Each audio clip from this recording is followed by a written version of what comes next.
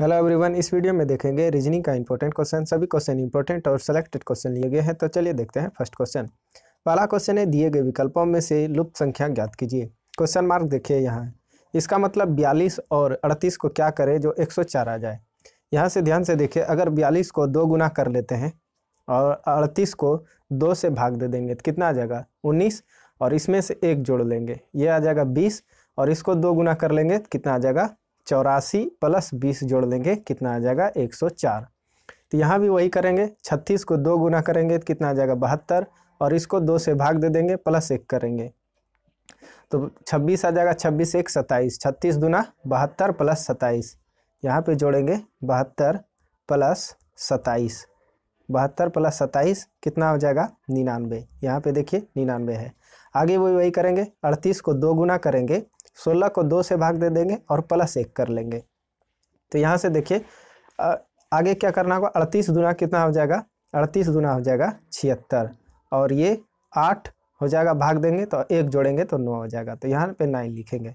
छिहत्तर plus nine जोड़ लेंगे कितना आ जाएगा? पचासी। पचासी देखिए ऑप्शन नंबर ए में है, ऑप्शन नंबर ए सही आंसर है। ये सब एग्ज़ाम में क्वेश्चन पूछे गए हैं, वहीं से क्वेश्चन लिया गया है। तो ये सभी क्वेश्चन क्या है? इंपॉर्टेंट है। मोस्ट इंपॉर्टेंट क्वेश्चन है। तो चलिए देखते हैं अगला क्वेश्चन क्या दिया गया है। अगला क्वेश्चन देखते हैं। नेक्स्ट क्वेश्चन है।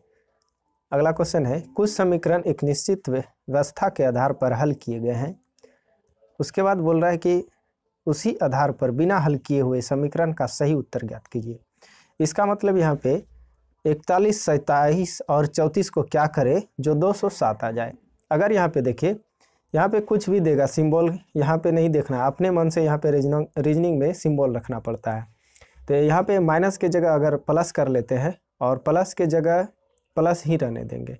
तो यहाँ देखिए इकतालीस प्लस सत्ताईस प्लस चौंतीस, इसको जोड़ लेंगे, कितना आ जाएगा ये? 102 हो जाएगा। तो 102 को ही उल्टा करके लिख देंगे तो 201 हो जाएगा 201 हो जाएगा। तो यहाँ पे दिया गया है। तो आगे भी इसी तरह से सॉल्व करेंगे, कैसे? यहाँ कितना दिया गया? उन्नीस, तिरसठ, अड़तालीस। तो यहाँ पे माइनस है तो इसको प्लस कर लेंगे। उन्नीस प्लस तिरसठ जोड़ेंगे। उन्नीस प्लस तिरसठ प्लस अड़तालीस। तो यहाँ से कितना आ जाएगा? एक सौ तीस हो जाएगा। और एक सौ तीस को उल्टा कर लिखेंगे तो ज़ीरो थ्री वन। यहाँ पे लिखा गया है। आगे भी यहाँ पे उसी तरह से सॉल्व करना है। इक्यावन प्लस तिरपन को जोड़ लेंगे। इक्यावन प्लस पैंतीस प्लस तिरसठ को जोड़ लेंगे। कितना आ जाएगा? एक सौ उनचास। तो इसको उल्टा के लिखेंगे नाइन फोर वन। नौ सौ इकतालीस किस ऑप्शन में है? ऑप्शन नंबर ए में है। ऑप्शन नंबर ए सही आंसर है। नेक्स्ट क्वेश्चन देखते हैं। नीचे दिए गए प्रश्न का सही वेन आरेख बताएँ। प्रबंध, मजदूर संघ और कामगार। तो कामगार क्या होता है? मजदूर संघ के अंतर्गत आता है और प्रबंधक क्या होता है? अलग होता है। तो कैसे बनाएँगे इसका वेंडाग्राम ये कामगार और मजदूर संघ। तो ये मजदूर संघ के अंदर हो जाएगा कामगार और इसका प्रबंधक का अलग हो जाएगा तो अलग। तो देखिए ऐसा ऑप्शन ए में है। ऑप्शन नंबर ए सही आंसर है। नेक्स्ट क्वेश्चन देखते हैं। अगला क्वेश्चन क्या दिया गया है? दिए गए विकल्पों में से संबंधित संख्या को चुनिए। कैसे बता सकते हैं? ध्यान से क्वेश्चन को देखना है। इंपॉर्टेंट क्वेश्चन है और ध्यान से समझना है। आठ को क्या करे जो नौ हो जाए और छप्पन को क्या करे? यहाँ पे क्वेश्चन मार्क है। तो कैसे बनाना है? ध्यान से समझिए। अगर यहाँ पे देखिए, आठ में एक घटा लेते हैं तो कितना आ जाएगा? सात, और सात को आठ से मल्टीप्लाई कर लेंगे तो कितना आ जाएगा? छप्पन। तो आगे भी उसी तरह से सॉल्व करना है। यहाँ से क्या करेंगे? आठ में एक घटा लेते हैं। इसमें एक घटाएँगे तो सात आ जाएगा तो मल्टीप्लाई सात से कर लेंगे, छप्पन आ जाएगा। तो नौ में भी एक घटा लेंगे, कितना आ जाएगा? आठ, और आठ से मल्टीप्लाई कर लेंगे, कितना आ जाएगा? नौ अठे बहत्तर। बहत्तर देखिए, ऑप्शन नंबर बी में है, ऑप्शन नंबर बी सही आंसर है। नेक्स्ट क्वेश्चन देखते हैं, अगला क्वेश्चन क्या दिया गया है? इसका आंसर कौन सा हो जाएगा? बहत्तर। अगला क्वेश्चन देखते हैं, अगला क्वेश्चन है, यदि चार गुना नाइन बराबर पच्चीस, सात गुना चार बराबर तिरपन तो नौ गुना चार क्वेश्चन मार्क दिया है। तो देखिए, यहाँ पे पच्चीस इसको कैसे ला सकते हैं? अगर यहाँ पे चार का स्क्वायर कर लेंगे, सोलह आ जाएगा, और इसमें नौ जोड़ लेंगे तो पच्चीस आ जाएगा। यहाँ भी वही करेंगे, उनचास, सात का स्क्वायर कर लेंगे तो उनचास और ये चार को जोड़ लेंगे तो तिरपन आ जाएगा। यहाँ पे नौ नमा इक्यासी प्लस चार, कितना आ जाएगा? पचासी। पचासी देखिए किस ऑप्शन में है? ऑप्शन नंबर सी में ऑप्शन नंबर सी सही आंसर है। नेक्स्ट क्वेश्चन देखते हैं। देखिए, ये क्वेश्चन मोस्ट इम्पोर्टेंट क्वेश्चन है। अगला क्वेश्चन देखिए क्या दिया गया इसमें बहुत सारा तरीका बताएँगे और सबसे आसान भी ट्रिक बताएँगे। यदि किसी घड़ी में आठ बजकर पचास मिनट हो रहे हो तो इस स्थिति में घंटे और मिनट की सुई के बीच का कोण का माप क्या होगा?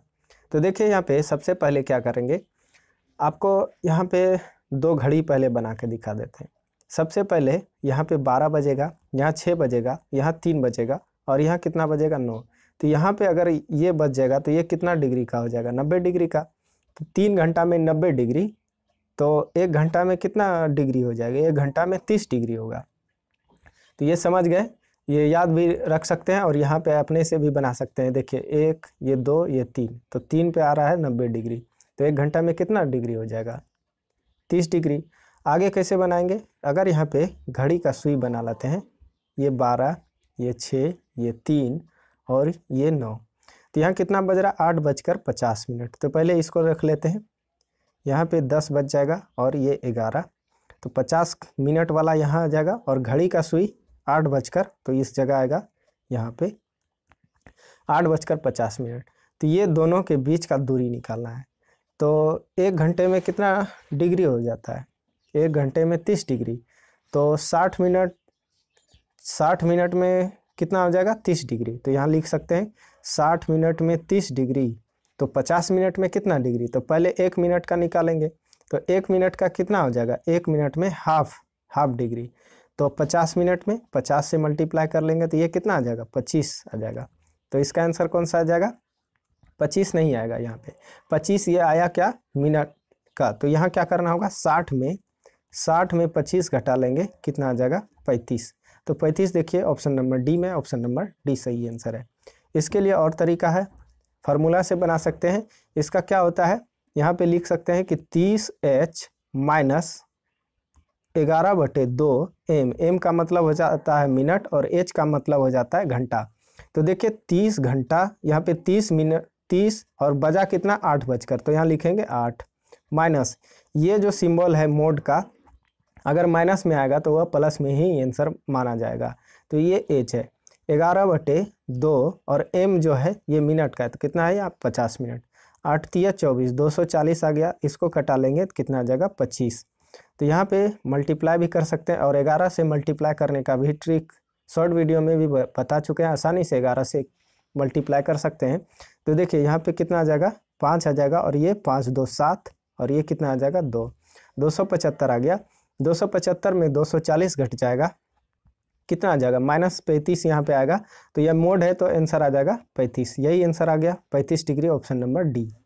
और भी तरीका इसमें बताते हैं। देखिए, यहाँ पे आठ बजकर, ये बड़ा तरीका है, यहाँ पे लिखा आठ बजकर पचास मिनट तो इस जगह लिखना है आठ बजकर पचास मिनट प्लस में लिखेंगे, पचास को साठ से भाग दे देंगे। और इधर लिखेंगे मिनट का तो मिनट कितना है? पचास मिनट है। तो यहाँ पे एक मिनट में कितना डिग्री हो रहा था? छः डिग्री। एक मिनट में छः डिग्री। तो यहाँ से छः से मल्टीप्लाई करना होगा। ये कितना आ जाएगा? छः पंचे तीस। तीन सौ आ गया। और इसको कटा लेंगे। और इसमें भी मल्टीप्लाई करना होगा किससे? तीस से मल्टीप्लाई करना होगा इससे। तो ये छः पंचे तीस। तो यहाँ पे पहले यहाँ पे सॉल्व कर लेंगे इसको। कटा लेंगे तो अब अच्छा अड़तालीस, पाँच। तिरपन आ जाएगा। बटे छः और इसको मल्टीप्लाई किससे करना होगा? तीस से। छः पंचे तीस। तिरपन गुना पाँच कर लेंगे, कितना आ जाएगा? दो सौ पैंसठ। दो सौ पैंसठ में तीन सौ घटा लेंगे तो आंसर कितना आ जाएगा? पैंतीस आ जाएगा। जो बड़ा होगा, उसमें में इसे, इसमें घटाना है तो आंसर आ जाएगा ऑप्शन नंबर डी। जो भी तरीका अच्छा लगे, सभी तरीका इसमें बता दिए हैं। नेक्स्ट क्वेश्चन देखते हैं, अगला क्वेश्चन क्या दिया गया है?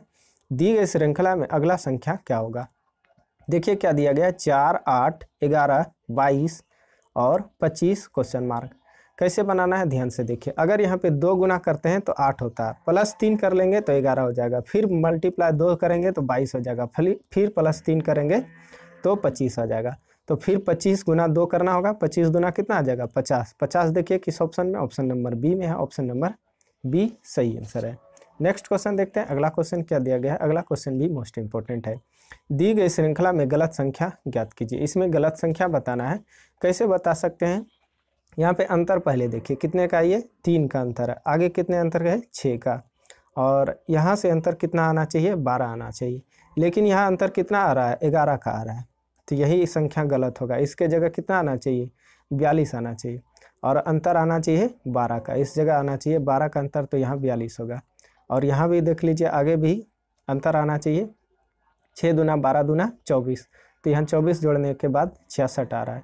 तो गलत संख्या कौन हो जाएगा? इकतालीस हो जाएगा। इसके जगह बयालीस आना चाहिए तो ऑप्शन नंबर डी सही आंसर है। गलत संख्या पूछा है तो ऑप्शन नंबर डी सही आंसर है। इकतालीस के जगह बयालीस होना चाहिए। नेक्स्ट क्वेश्चन देखते हैं। एक पासे के नीचे दी गई दो भिन्न शक्लों को ज्ञात करे, सफ़ेद के पीछे कौन सा रंग होगा?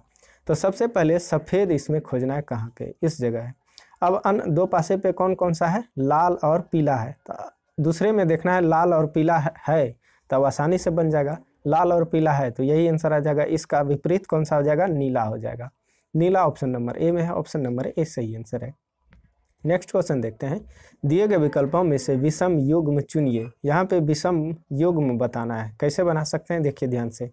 अगर यहाँ पे इक्यासी जो है ये, यहाँ से इसको क्या कर सकते हैं? नौ का स्क्वायर कर लेंगे। नौ का स्क्वायर करेंगे तो ये नहीं होगा।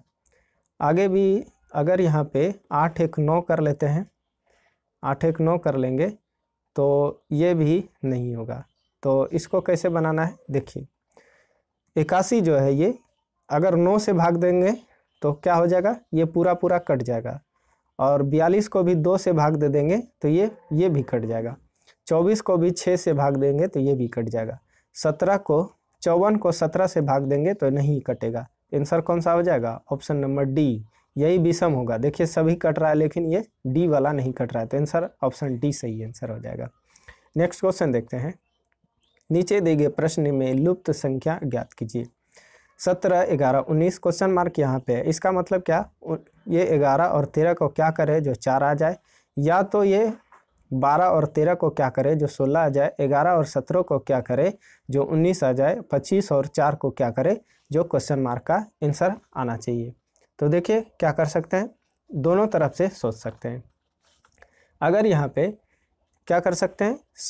यहाँ पे सत्रह और बारह का अंतर करेंगे, कितना जाएगा? पाँच और पाँच का स्क्वायर कर लेंगे, कितना जाएगा? पच्चीस।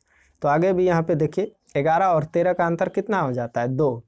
और दो का स्क्वायर कर लेंगे, कितना आ जाएगा चार। तो यहाँ वाला चार दिया गया है। उन्नीस और सोलह का अंतर करना है। कितना आ जाएगा तीन। और तीन का स्क्वायर कर लेंगे, कितना आ जाएगा नाइन। नौ। नौ देखिए, ऑप्शन नंबर ए में है, ऑप्शन नंबर ए सही आंसर है। चैनल पर पहली बार विज़िट कर रहे हैं तो लाइक शेयर सब्सक्राइब ज़रूर कीजिएगा। मिलते अगले वीडियो में, तब तक के लिए जय हिंद।